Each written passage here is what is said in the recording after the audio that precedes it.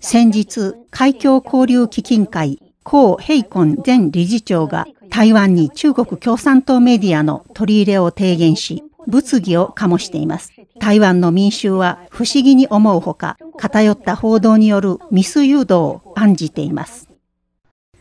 海峡交流基金会、江平根前理事長が中国の中央テレビと香港フェニックステレビを台湾に導入することを提案したことに対し、台湾の民衆は不安を感じているようです。我应该是不会想，说不出有奇怪的感觉。我们是绝对不赞成有这种事情发生。上面都毒的都有毒的，你叫毒个惊掉啊！也有毒，这样子不太好吧？因为我觉得还是看到本地的新闻会比较好一点啊。如果他们经过他们筛选过的新闻再给我们看的话，这样恐怕会有一些呃，会造成部分人的那个误导啦。台湾の反メディア居住青年連盟の発起人林批判さんは Facebook に驚いて言葉が出ない台湾メディア学者の菅中章さんもこのようなやり方は本末転倒だと批判していると書き記しています。呃，台湾的媒体乱象的问题是一个整个制度上面出了很大的问题哦。那也就是整个媒体的过度竞争。如果要引进国外的这种所谓的国际新闻频道的话，也未必是需要引进这个央视跟凤凰卫视哦。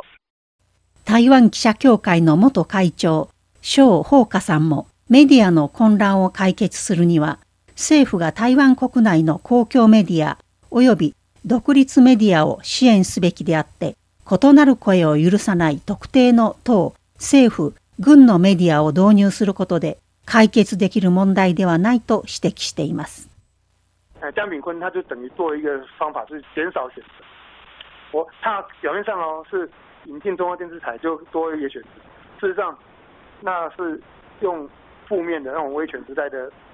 示范来给台湾看，那不是告诉大家都应该要朝那个方向吗？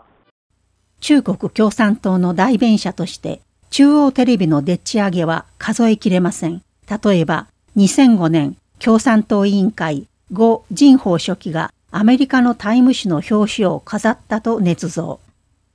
2011年に報じた解放軍戦闘機の映像もハリウッド映画トップガンのワンシーンを投用したことがネットユーザーに見抜かれました。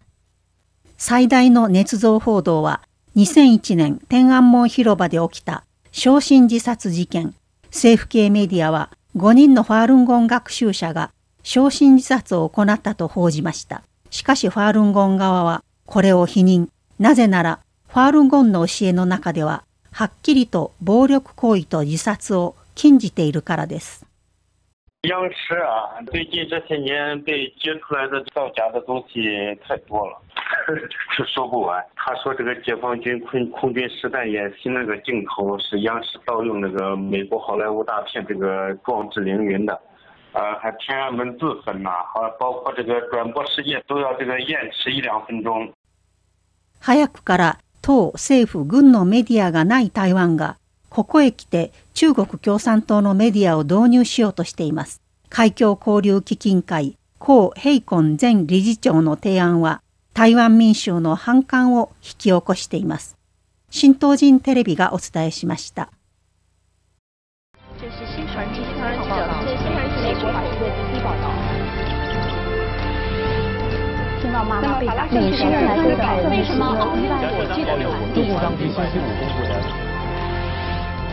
有人说他是专制政治的，正处于危险，就是大于加法。